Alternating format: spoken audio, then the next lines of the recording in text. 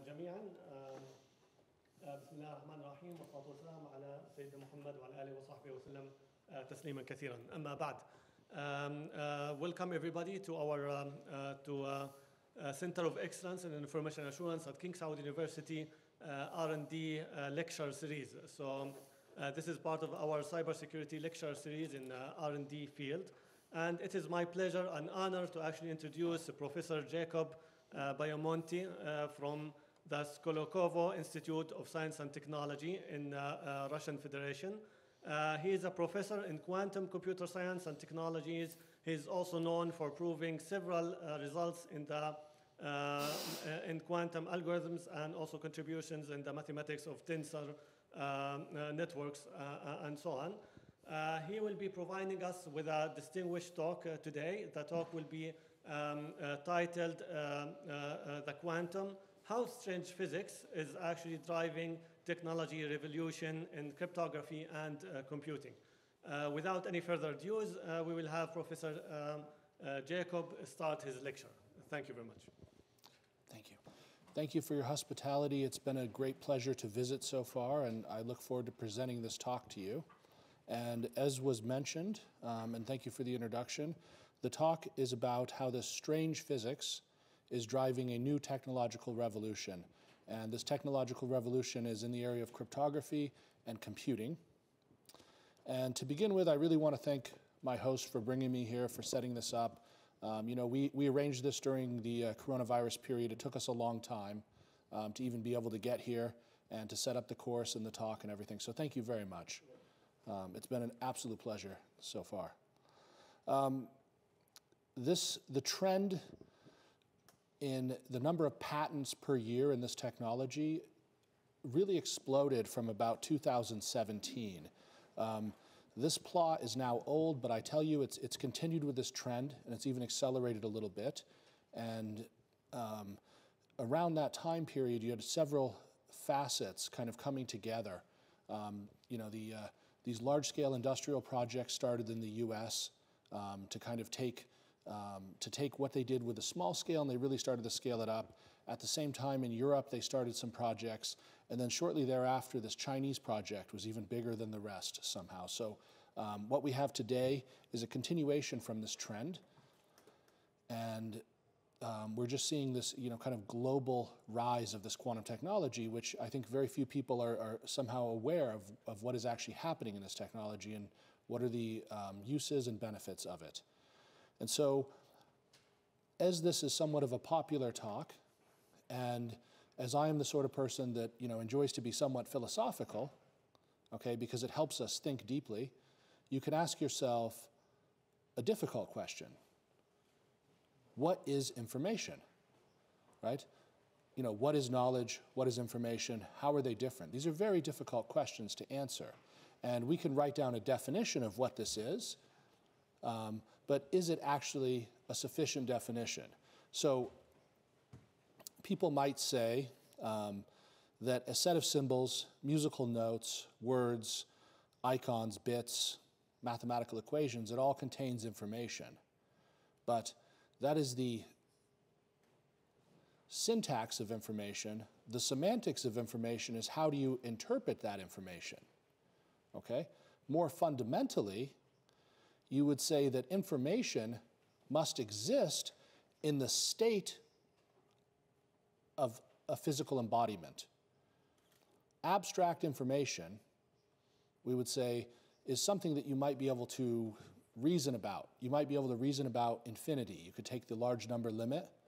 But if that exists or not, physically, is the question that we want to, we want to consider today. So we want to consider information is something that must be represented in matter.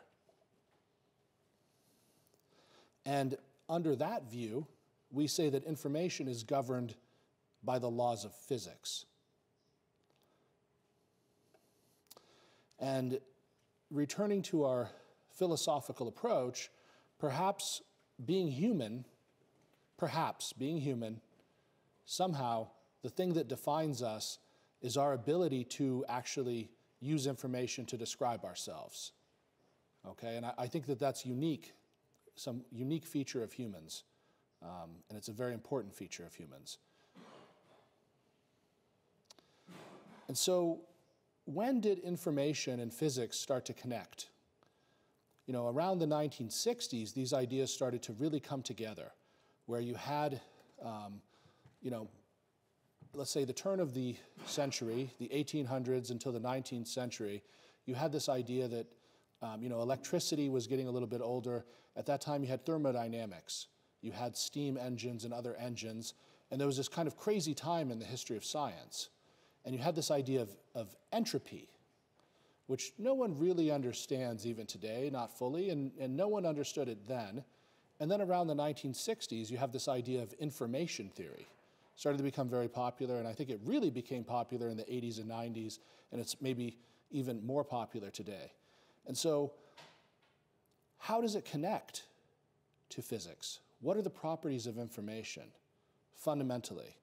And you have Landauer's principle that says if you are to erase information, you will increase the heat of your environment. This is uh, from the 1960s, and it's very interesting. And this was really, I think, the first and most profound early connection between information and physical sciences. And we would say that a computing device will dissipate heat in its non information bearing degrees of freedom. What does that mean? You can construct a computing device that is reversible, but when you measure the state of that device, um, you know, eventually you can store that into memory, but when you erase that memory, it will dissipate heat. The devices that are our computers today, such as our cell phones, as miraculous as they are, they in fact dissipate a lot of heat. And there's a lot of degrees of freedom um, internal to those phones where there's bits of information that are just being lost to their environment. Okay, and some of the research going on today is to, you know, not just make a better battery, but to make a better phone where the processor of your phone, I think most people are quite reasonably satisfied with what it does, yet the battery life is something that is maybe less satisfactory. Okay, so that's a real life example of how this erasing of information, which is happening internal to your telephone, is dissipating heat. And so we talked before, we spoke before about the Industrial Revolution and the second law of thermodynamics, which was about this idea of entropy which is increasing with disorder.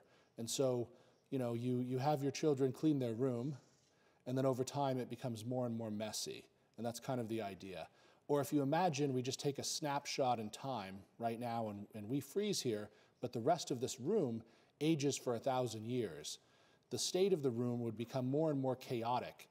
You know, it would fall to bits and pieces, and it would not resemble a state of matter that is uniform in its, as it is in its current setting. And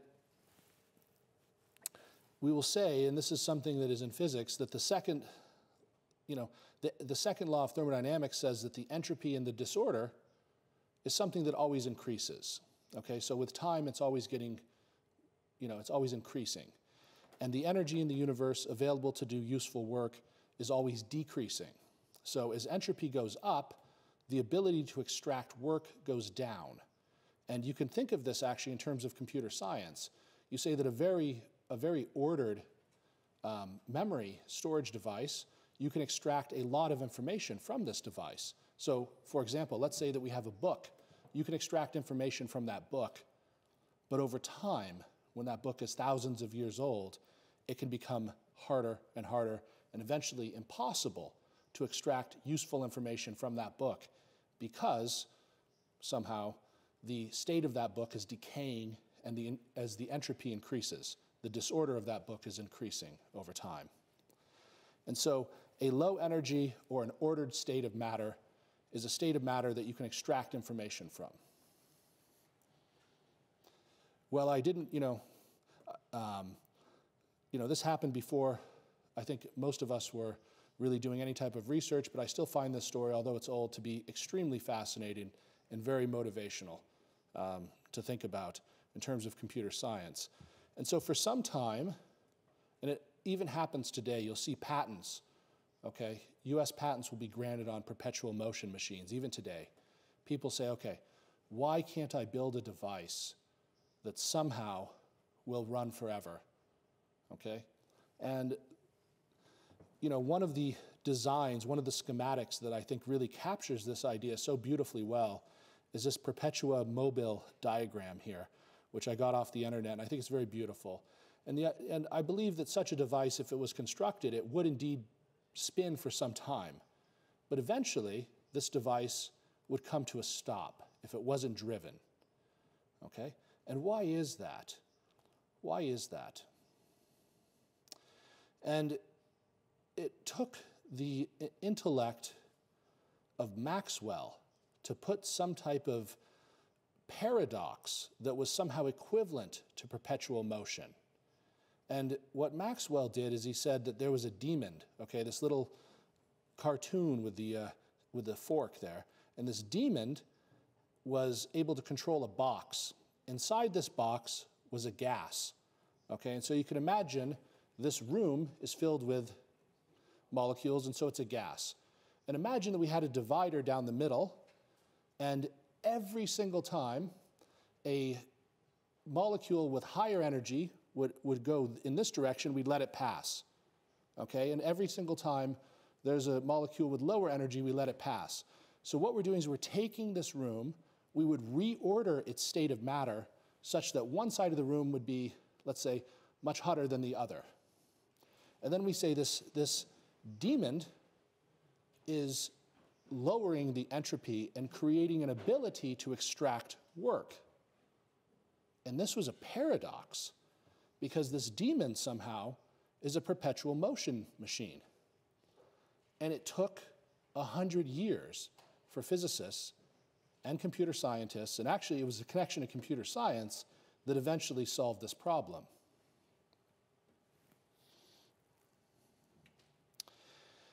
In 1960, Landauer said that the measuring process does not need to increase thermodynamic entropy as long as, there are thermo, as, long as these pr processes are thermodynamically reversible.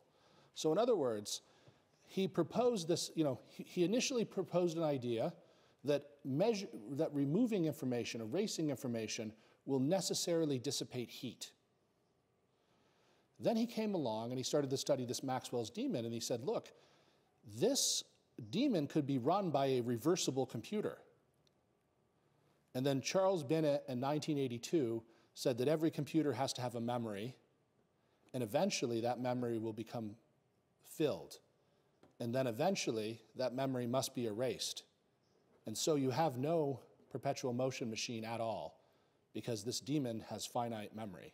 And he solved that problem in 1982. And he's working, he was working at IBM when he did that. He still is working there, and uh, Landauer was also working there.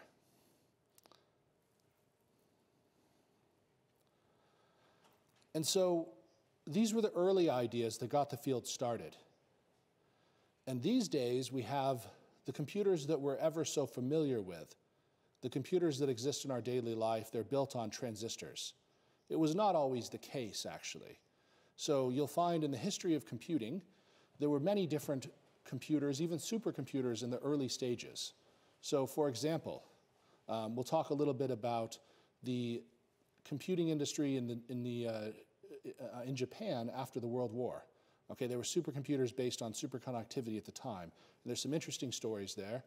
In fact, in the Soviet Empire at the time, there was a huge um, analog computing industry where they would take and solve differential equations by mapping these differential equations to electrical circuits. In fact, this was also happening in, in uh, the United States and Canada as well.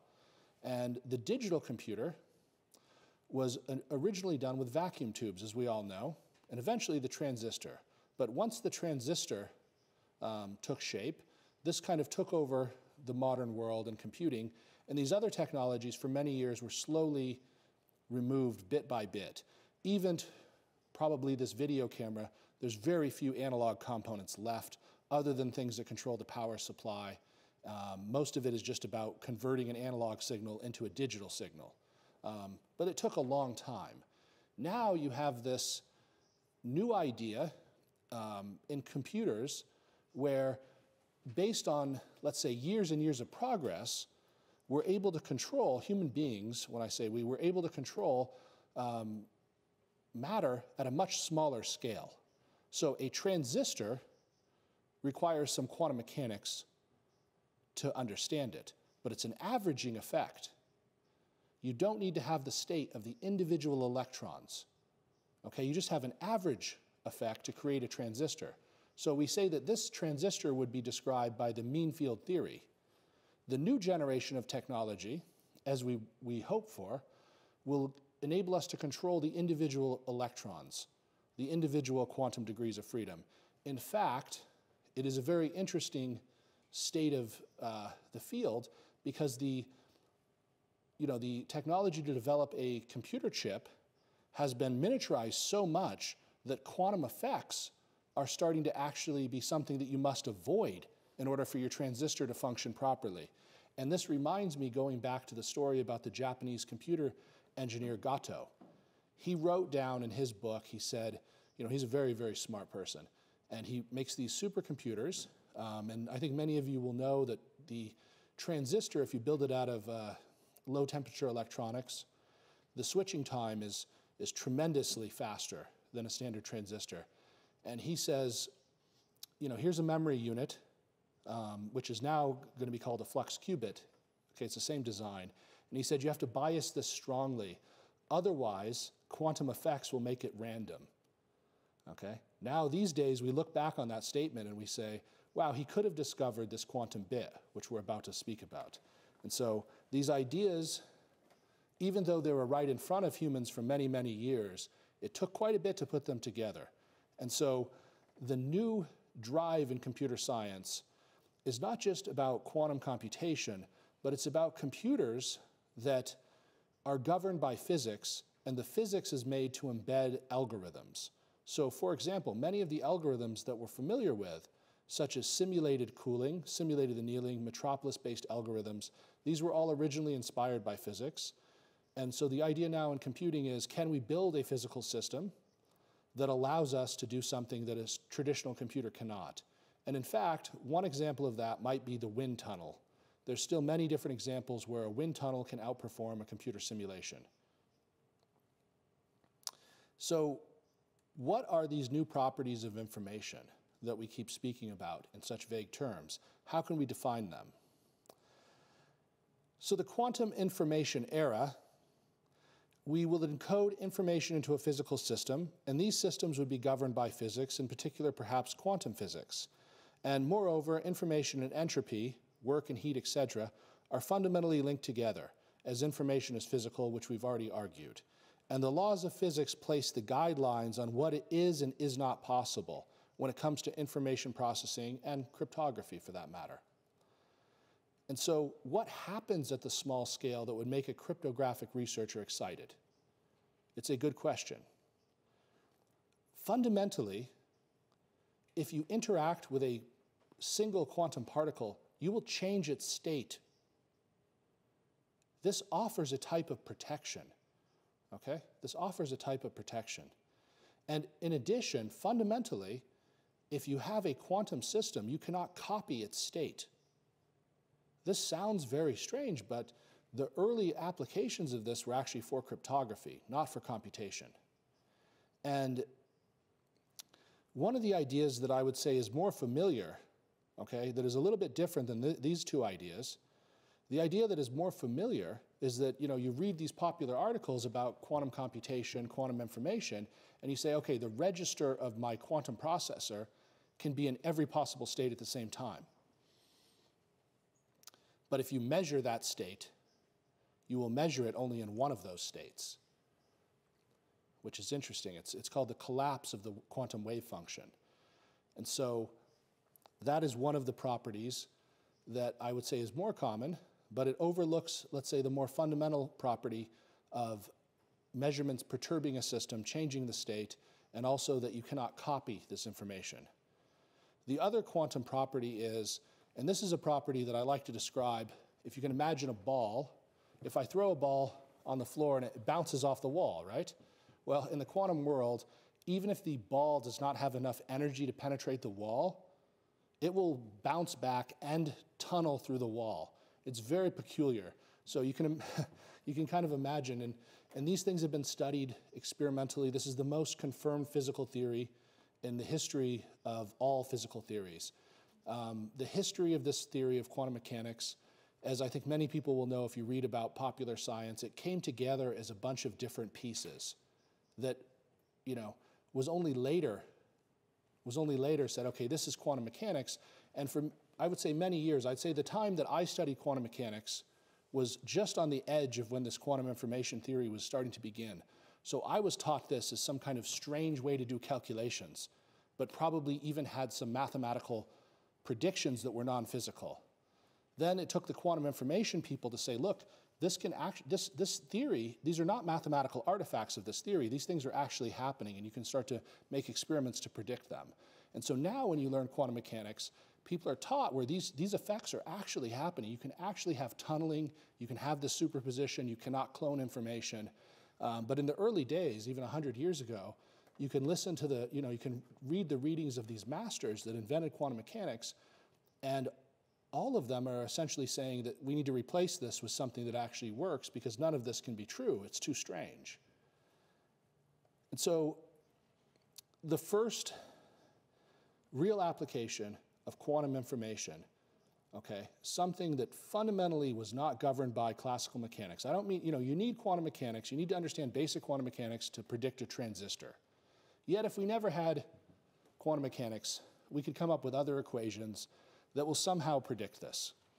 Okay, and I, I, don't know if the inventors of the transistor were masters at quantum mechanics. They had some idea of this, but you could, you know, the logic of the transistor is not governed by quantum mechanics. Some properties of its function are, but people would not say that the logic of the transistor is quantum mechanical. BB84, named after Bennett and Brassard, 1984, when they published this, is a cryptographic protocol, which is the first one ever invented. There's been subsequent inventions that are, you know, that solve or perfect different aspects of it. This was the first protocol that was ever invented to make a physically secure type of communication a type of communication which is, you know, at least the communication part is secured by the laws of physics. You know, the classical pieces can still be hacked, okay? But this communication part, you know, sending these photons down the channel, this is secured by physics. And that's a, that was really a new idea in cryptography, okay? And an interesting story was that a young graduate student, you know, he graduated and he subsequently actually left science and went and, and you know, said, hey, I'm going to go move to the move to the mountains and you know and have a goat farm and do this sort of thing. Okay, he wrote this paper, and he said, you can have a secure dollar bill. Okay, you can have a secure dollar bill. This is the late '60s, where what we do is we write the code the code of the dollar bill, some, some cryptographic code, some code number in these quantum particles. And only the bank knows the code and something else. And I have to explain this to you just a little bit, and we will. For a quantum particle, unlike a traditional bit of information, we can measure a bit of information and we determine if that bit of information is in zero or one. We'll assign some values to zero or one. If we have a probabilistic bit, it's still the same thing. Okay, we can measure the bit of information in zero or one, perhaps with some probability. A quantum bit has a peculiar feature. You're actually able to measure it in, let's say, two different ways. And in principle, the single quantum bit, once you measure it one time, you extract the useful information from it, but you can measure it in two different ways. And so we'll call one type of measurement a Z measurement. We'll call the other type of measurement an X measurement. And these two types of measurements, interestingly enough, if I were to prepare a bit in such that it was, what we'll say is in the Z basis, if I measure in the X basis, regardless of how I prepared it in the Z basis, it always appears to be a random bit.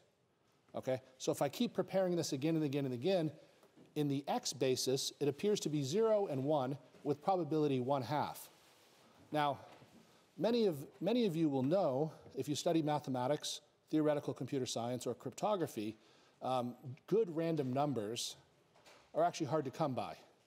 So if you try to generate, actually it's true, you know, Mathematica is a very good program, I use this, but if you really try to generate some statistics on it, you can find that eventually there will be little flaws that are not actually following what you'd expect. There's little deviations in certain ways because their random numbers are actually, although they're good, at some point they kind of break down. And so many people used this property of quantum mechanics to try to create random number generators. But this is not what we'll do today. And so the first idea by Wiesner. it was never published. He submitted the paper and they said this is a crazy idea and rejected it. Okay? And this can happen with new ideas. Um, this can also happen that, let's say, crazy people use the fact that this does happen to justify their crazy idea. So you never know if something's crazy or if it's actually going to be a future good idea, I guess is the message. And so Bennett and Brassard created public key cryptography. Let us explain how this works. So for whatever reason, um, we'll have two parties for, in BB84. We'll have the party which is Alice, has the ability to create qubits.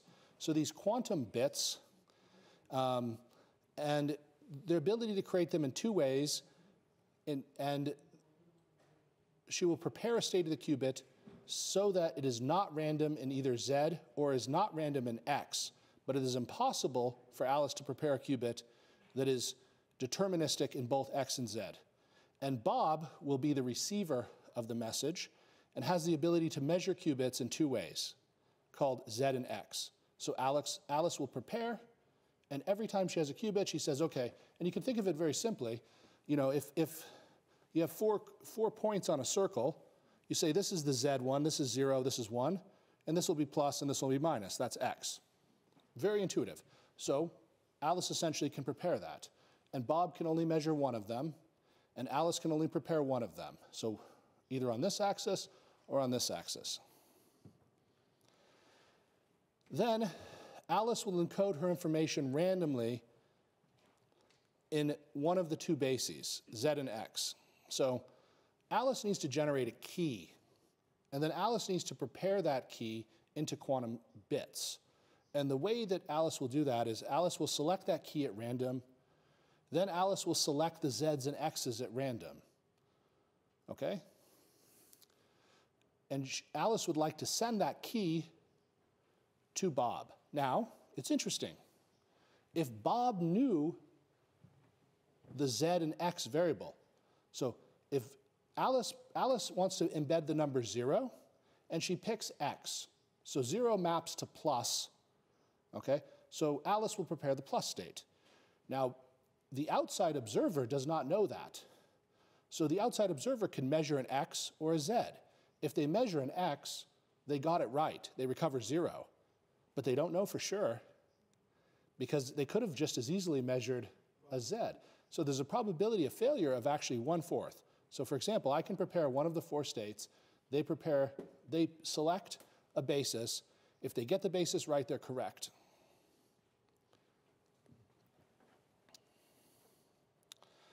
And so Alice, in this example, will prepare 16 bits. This will be the code that Alice would like to deliver to Bob. And Alice will select randomly the following basis, x, z, z, x, z, z, x, etc., etc.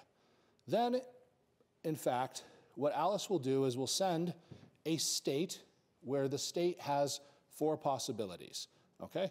Zero plus minus minus plus one zero, all right? So the zeros and ones correspond to the z basis. The plus and minus are zeros and one in the x basis. So that is the initial step of the sender. Generates a code, randomly selects a basis, prepares the state. Then the state has to be transferred. Okay, and this part is where, the, where you would assume there could be an eavesdropper, some villain that wants to take the state and extract the code. But first, okay, and this kind of explains it again. So Bob, after all of these things, so Alice creates the bits, Alice creates the basis, she sends the state. Then Bob receives the qubits and measures each one on a random basis. Now, here's the first step that Bob receives. So you know, you can just imagine you open your door, somebody gives you a box and says, here are your qubits. So what do you have to do? You have to extract information. What do you do? You pick either Z or X and you measure it. Okay? If you pick wrong, you flip a coin because it's random. But if you pick correctly, you get the right answer. Okay? How are you going to know if you got the right answer? That is really the, the beautiful question. So Bob recovers, for example, the following sequence. Okay? So Bob picks this basis here, and then you know, you can simulate this using quarters. We played this game actually in our, in our training camp. And you, cre- you know, Bob extracts this sequence. All right? Bob extracts this sequence. So Bob keeps this sequence. Bob keeps this sequence. But what does Bob do? What does Bob do? This is, this is the next step. Alice and Bob compare their measurement bases, not the results, via public channel. So Alice says, here's my basis, the XZ string. Bob says, here's my basis, the XZ string. They look, when they agree, they say, okay, these bits should agree. And when they don't agree, they toss it in the trash. That's okay, so it has to be replicated a few times. And you'll notice in this case, this is where their basis agreed. So we generated these randomly on Mathematica. So it's a very good random number generator for small systems. And you got 7 out of 16. That's about average because you have about a 50% probability of picking the right basis. So that's kind of normal. And these bits will be, share, will be the shared key they use for encryption. You can obviously scale this up quite a bit. You could send thousands of bits. You could also put RSA or another protocol on top of it to embed more security into this. But fundamentally, this is based on the following ingredient, which we will soon describe. If I measure a bit, I change its state. So you cannot measure a quantum bit without changing its state. And I also cannot copy it. Okay? So the question is very simple. I'm trying to send these bits to you, or you're trying to send these bits to me. What if, what if someone gets those bits? What if they take them and they try to extract the key? That's what we'll talk about a little bit now. And we'll call this, the eavesdropper will be called Eve for some reason and this eavesdropper wants to spy on Alice and Bob. So somehow she, interrupt, she in, intercepts the bit stream. Okay, so for example, we're sending this through a fiber optic cable. They put it some kind of you know splice into this, and they somehow try to extract this information. This is probably really the best way to hack a classical signal, correct? Just get a hold of the signal if you can, or catch it through the airways, right? And so Eve, here's the trick Eve does not know what basis to measure in. So Eve would have to measure Z and X randomly, and 50% of the time, she'll be wrong. Okay? Therefore, Bob measures in the correct basis, there's 50% that Eve would have changed the basis of that bit. And so 25% of the time, if these bits are accept, uh, intercepted, the final result will not match. Okay, and so what you can do is the following. I will send you a thousand bits on average, will agree half the time.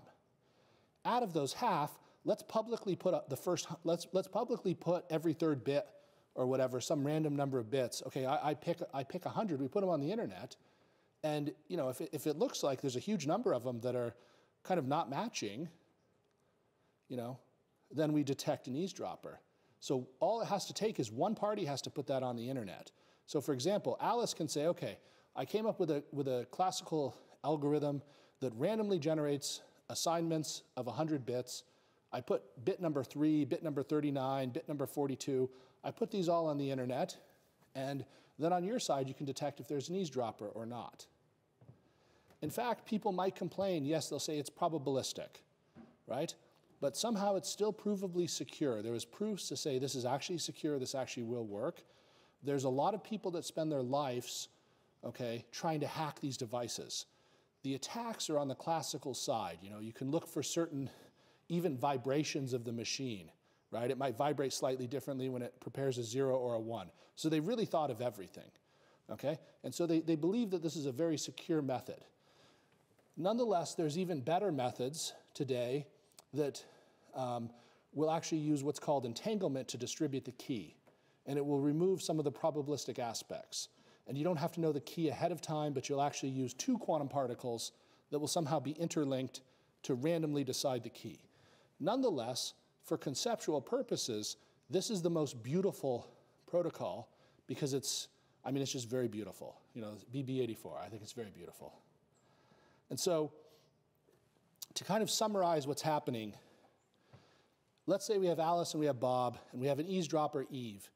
It is true that Eve can pick the correct basis, right? So you'll see on the third line here, you know, Alice prepares this state, maybe this is a plus state, and Eve measures in the plus minus basis, and therefore, Bob, everyone gets the good value. Eve receives information. But with a probability of one fourth, Eve will receive the wrong information, and you will detect it.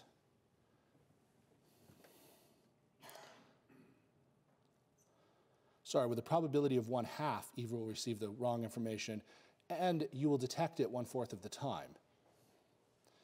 In a world with perfect transmission, all Alice and Bob have to do is publicly compare a few bits to determine if there are any errors, right? Um, you'll notice that, you know, um, these, these errors are very easy to calculate because they're just quarter tosses, basically, coin tosses. So you have something that always scales with 1 over 2 to the m. Um, errors exist in reality, but 25% error does not exist in reality. If it did, the, the, device would obviously not work very well. So you have to make sure that your physical device has a low error rate that's far below 25%. And you have to pick a number of bits to compare, which is far above the threshold of the error of the device. This can be done for people that study statistics using concentration inequalities, Hoeffding's inequality, where it says what's the probability of your sample size to deviate somehow past the mean. So this has all been worked out for many years, and it does work. And in fact, there's MagiQ, ID Quantique, et cetera. There's many commercial companies that distribute this. And um, you know, this in here is some kind of fiber optic cable between two sides. And you know, it's commercially available. It's quite easy to look this up. And it's being um, deployed across the world now in different things. You know, banks, um, banks that are, let's say, next door to each other are using this now. They have communication. They just simply don't want their information to be hacked and kind of the current state of the art. Um, you've all heard about these famous experiments from China where they, they have, you know, they implemented BB84 and also what's called Ekert, um, the Ekert protocol, and they did this with a satellite link. Okay, so they, you know, they, they use this satellite to distribute this key. So it's very beautiful, very beautiful. And this is uh, 1,200 kilometers. And we'll switch gears a little bit because we know, we know that cryptography is not just about a secure transmission of a signal, but also about the secure storage of information, right? So I might not need to send, I, I might not need to send my information. I might just want to put it somewhere into some data bank and secure it. How is this done? Okay, a lot of people will use zip, right? So you say, okay, set your password, and WinZip or something will compress that information. But how secure is that information really? We know from our own lives and from Moore's Law that something like every two years, you know, you get a new iPhone that's twice as, you know, it's much more powerful. It's twice as powerful. Maybe it feels like it's slowing down though, doesn't it? Like I, I didn't buy a new phone for like five or six years because I feel like it does everything I want. But it used to be, you know, if you if you remember back 20 years ago, you're like, I wish I wish the pen on my tablet worked a little bit better. I wish this worked a little bit better. And somehow human beings, I think, are somehow becoming more satisfied with technology. In fact, many people say that the idea that the number of transistors will double on a chip every 18 months is coming to some type of an end technologically because the feature size is becoming too small because you're actually ending up with these quantum effects and it can't actually work anymore. But there's always these new innovative tricks from computer engineers um, that seem to still double the processing power. Um, and as we know, one of the most important things for numerical computational physics, okay, and also biology, biological science, mathematical biology, was the uh, gaming industry, the GPU. I remember 20 years ago, uh, 15 years ago, you'd go over, you know, in, in Harvard, you go in there, there's a bunch of PlayStations. Okay, in these guys' office, they wire together 50 PlayStations, right? You don't see that anymore. Now it's just a GPU farm, okay? One of the, one of the most, one of the saddest things actually to talk about that, you know, it's like a Bitcoin although philosophically maybe you agree or don't agree with the concept, but to assign a dollar value on something that literally has no value, and then to solve this massive computational problem, it seems almost like against the ideas of humanity, right? I wish, you know, there's some of these other cryptocurrency where you have to crack like a medical problem, right? You have to find a new, a new drug or something, like discover something for human beings. Okay, so anyway, we want to encrypt. How do we encrypt? How do we encrypt? And I, I think most people watching this, I, I think you know more about cryptography than myself. Okay, I study a different type of computer science. But I know something, and the typical way to encrypt is to create a computational problem that has an easy answer, but the answer is hard to find. That's the typical way to encrypt. Factorization, okay, is behind RSA, but you can do other things. You can do other ones. You, you know, there's other types of cryptography. And what is the idea behind this, and why would quantum mechanics help?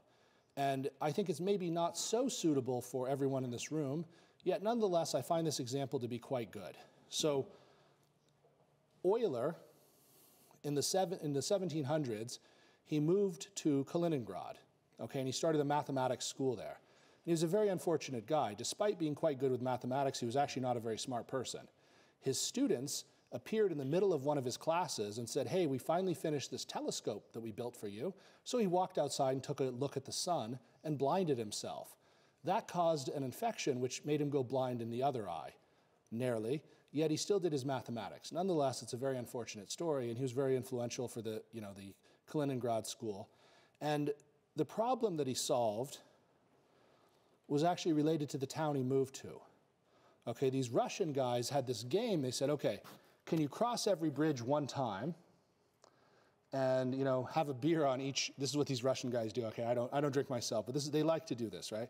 You know they, they want to cross the bridge every time and only cross it one time and they want to visit every pub in the city all right? So we could we could say okay you want to have a coffee at every at every time if you don't drink okay? It's fine. But the problem goes like this. So you imagine it's a difficult problem. You, you maybe you learned how to read and write but you never learn mathematics past, and even the symbol system that we have today, this beautiful language of mathematics, okay? Part of it came from this region here, okay, algebra and all of this. The symbols, the symbolic manipulation of mathematics, at that time was even different. It wasn't as advanced. So they, you know, you didn't have these tools. You were not educated with these tools. And so these people in this town, they had this problem, and it was like folklore, like a legend. Can you cross all the bridges, yet only cross them once? And start where you stop. Stop where you start. Okay? And so Euler, he said, Look, this is too difficult for me to think about. So he drew a graph. And he invented graph theory. In some sense, you know, graph theory is kind of the start of computer science, right? In some sense, in some way. And he said, you know, you can't do this. And the reason why is because of properties of this graph. Okay? So that's an interesting question. That's kind of, I'd say, one of the first, one of the first questions where you abstract a problem away and you put it into some, some type of another term. Now, another problem, okay, which is similar. Now, this problem, when you have a no instance, as we know, no instances in computer science are hard. They're difficult because how do you prove no?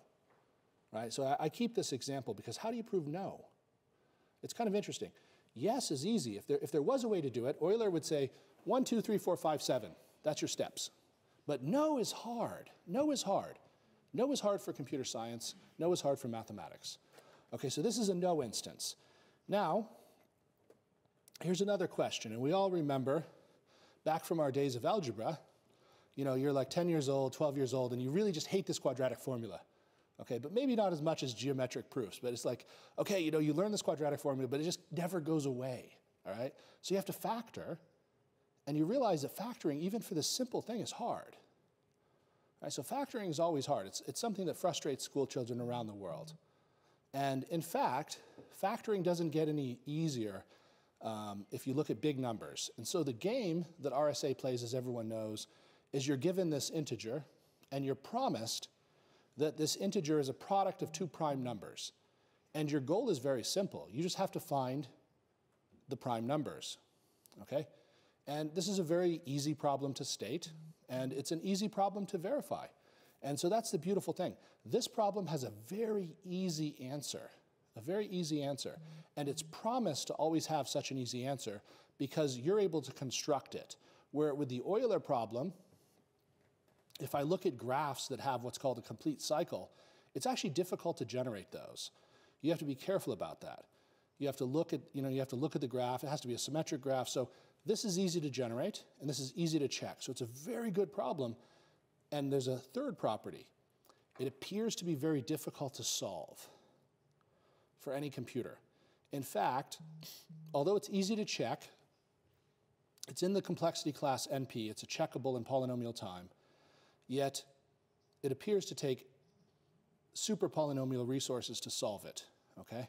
In fact, exponential, right? And so we use this feature to make RSA encryption. We use this to make encryption. And so that is the idea. And the, the problem with the quantum computer, okay, the problem that it poses for classical cryptography is everyone says, well, hey, I'm using, you know, maybe some combinatorial problem, maybe some elliptic curve cryptography, maybe RSA. And apparently this quantum computer is going to be able to solve these, these problems a bit faster, right? And maybe even quite a bit faster. And so in the early days of quantum computation, a lot of the investors into this field was actually from the banking industry. They're like, look, even if this is 50 years away, we're quite interested. Is this really going to work? And so, you know, these, these guys actually researched this quite a bit after the discovery of Shor's quantum factoring algorithm.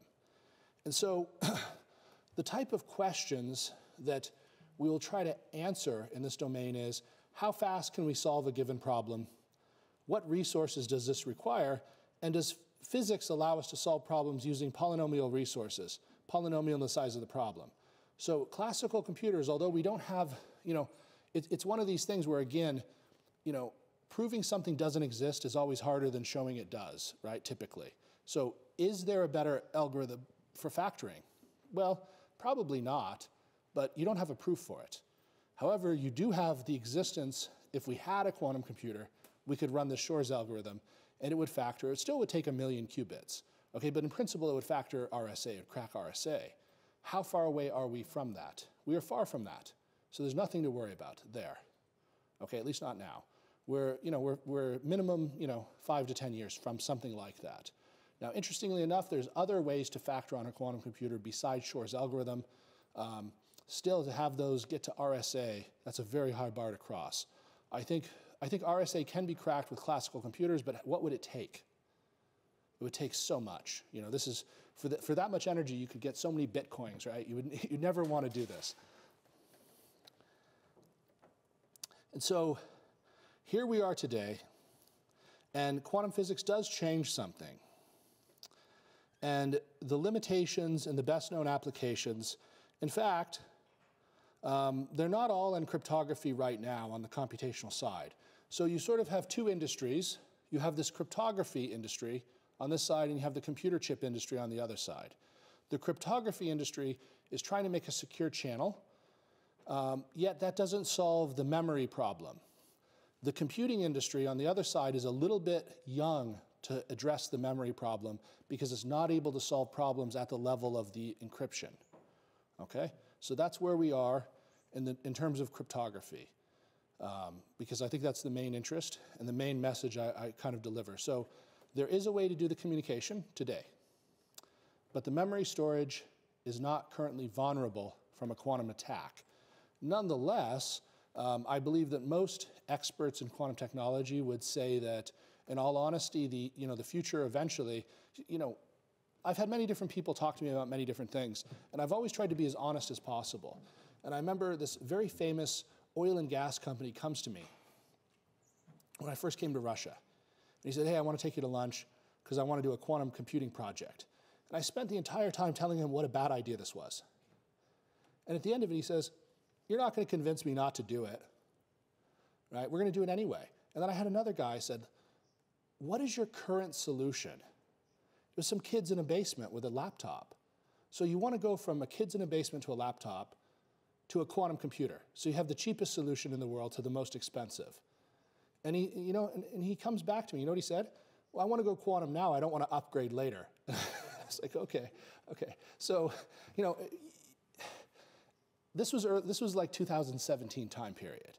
Since then, the field has changed quite rapidly. And the current state of the art is, I'd say, much more promising. And both of these gentlemen now have a different view but both of them have done some projects. And in terms of the oil and gas company, they concluded look, it's a 20 year transition to adopt a new technology. You start off small and you slowly learn about this technology, what it can and cannot do, and you have people learning and training on this. But in the 20 year period, that technology becomes different, but it becomes adopted. And they kind of look at it that way. And I think that that's sort of, let's say it kind of like this. So the first applications that we will see with quantum technology will be, let's say, for medical science, but the very first ones will probably be only for um, toy problems for physicists, you know. And then it'll become a very expensive solution for a long time, even when it does start to do something. And then it can become everyday, where these computers just become something that you can use. At that point, um, there probably will be a way to, like, let's say, factor large numbers, maybe not with Shor's algorithm. Um, and so now we're still in the early stages where people are becoming curious from the different communities. They're learning from the different communities, but there's currently, I'd say, no threat to RSA. If there was, I think the world would be a much different place. You'd see a lot more panic, obviously. Now, this is again old, but it still gives a, a relative idea of the size of investment. I think the only change on this right now is that China is trying to, you know, outperform everybody else on quantum. And they're very serious about it. So the, the governments, um, you know, uh, in the U.S. system, in the United States system, when you, when you have research R&D investment, you get a tax break. Okay? So you can either throw your money into the bin or save a pink dolphin, right? Now there's some angry pink dolphin because the money's going to quantum. So Google, Microsoft, IBM, you know, many of these early research results were funded, and they used to fund a lot more, let's say, mathematics. Now they're focusing quite a bit on quantum because it has so many different elements of information processing. And so you're looking now um, at, a, at a situation where the, you know, the leading companies in the world are now investing heavily in this, and they, they sort of don't care if it's immediately successful. They're not going to come back and judge this as a bad investment because they just consider this sort of the, R the research and development leg. What they found, what did they get out of this? Okay, what I've noticed is many people that get their PhDs normally would go and try to do a postdoc. Now they get paid twice as much to go to a startup and they'll never come back. So you ended up with these sort of, you know, another generation of physicists that are kind of lost to computer science. Uh, the banking industry at the start of it, you know, finance, financial prediction and everything, they took a lot of physicists the same way. It's good, it's good for things. It's not a bad thing. So that's one thing. You get a lot of transferable skills. Um, there's other things. So using ideas from quantum and techniques from quantum, they're pushing several different things much further. One is actually refrigeration, as strange as that sounds you have to make your quantum computer cold, so you have teams of 100 engineers working on a refrigerator, which really hasn't happened for 50 or 100 years, until the, since the beginning of refrigeration. So they're thinking, thinking, thinking, and there's ideas that are coming out of this. The other one that is interesting is signal processing. Um, these processors require some of the world's best filters. You can't just go onto, you know, whatever, whatever's the electronic company now. It, it used to be Radio Shack when I was a kid. You can't say, okay, I'd like this filter with this property and I'll adjust it. No, no, no. You have to build your own filter. You have to say, I want an inductor here and I want this crazy circuit. And you have to have the world's best filter engineer looking at that schematic every day with a team of 10 engineers, everyone with a PhD, trying to figure that filter out. Okay, one of these guys is John Martinis, who used to work at Google. And so there's many, let's say, sub-industries that are also slowly changing technology or even, um, even creating new technologies that are coming out of this. So the investments seem largely, I would say, stable with the exception of the stuff on the stock market you know, everybody asked me, they said, which, um, which quantum company would you like to invest in? And I said, I don't know which one I'd, I'd short first. Okay? And I was having them explain to me how to short one of them. Okay? I'm still not sure I understand it. All right, so that is my talk. I think, I think it was about 45 minutes. And I'd be happy to discuss further. I think people have questions. If I can't answer the question, I'll write it down. And if you have a question, I can get the information to you as well because I don't know the answer to every question. But so, for example, if you ask me a question, I say, oh, you know, this person over here might know the question, the answer better to me, or this resource over here, this book has that information. I can hopefully find that, and if I can't find it now, I'll, I'll write it down. And so that's, that's the end of the presentation. I hope that that was what you uh, hope to see. I, I enjoyed presenting it.